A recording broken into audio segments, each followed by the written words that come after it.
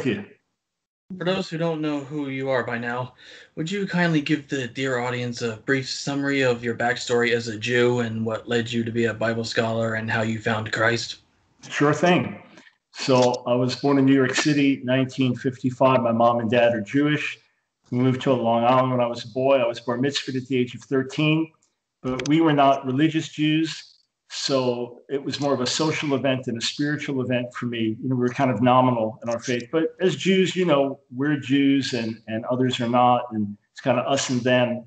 But uh, I was playing drums as a boy, got uh, interested in the whole rock scene, and went to my first rock concert at 13. So Jimi Hendrix in concert, and that just kind of opened up that whole door of, of the scene of rebellion to me. So when I was 14 I was asked if I wanted to try getting high, which I did, and got very much into drugs, was shooting heroin at the age of 15. And then at the age of 16, playing in a band with my two best friends, they liked these two girls whose uncle was a pastor and his dad had been praying for them. They started attending a little gospel preaching church. Uh, my friends went to hang out with them. God started to change their lives. I went to to dissuade them and to pull them out. People there began to pray for me. And by the end of the year, I was radically born again. It, it wasn't through an intellectual effort as much as the Holy Spirit convicted me of sin and just opening my eyes to the reality that Jesus was the Messiah.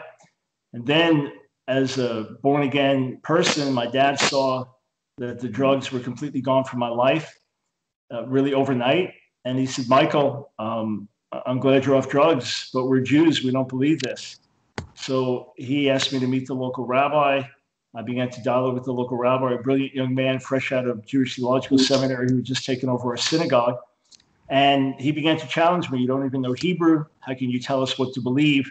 So when I started college, I thought I better start taking Hebrew classes, but they were all modern Hebrew. So I, I, I got a grammar and uh, taught myself biblical Hebrew while studying modern Hebrew, then realized, you know, if I could learn some of the other languages, it would be useful related Semitic languages and other ancient languages and things. So that led to my getting a doctorate in Near Eastern languages and literatures from New York University.